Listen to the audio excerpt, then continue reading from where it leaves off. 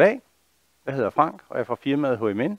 Jeg vil gerne præsentere jer for vores M2 bade toiletstol i vores standardmodeller. Hos os der er en standardstol ikke bare én standardstol, vi har flere varianter. Fælles for dem alle sammen, det er, at de er lavet i rustfrit stål. De har 100 mm hjul, som er lukkede og med dobbeltvirkende bremse.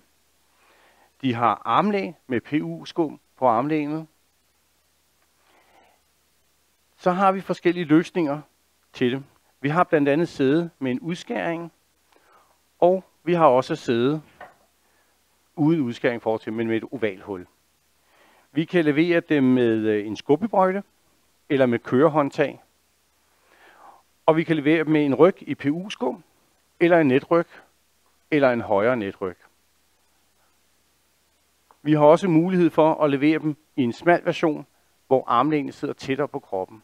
Og på denne måde, der kan vi altid levere en standardstol til borgeren, som passer til dem. I kan se mere på vores hjemmeside. Tak fordi I kiggede med.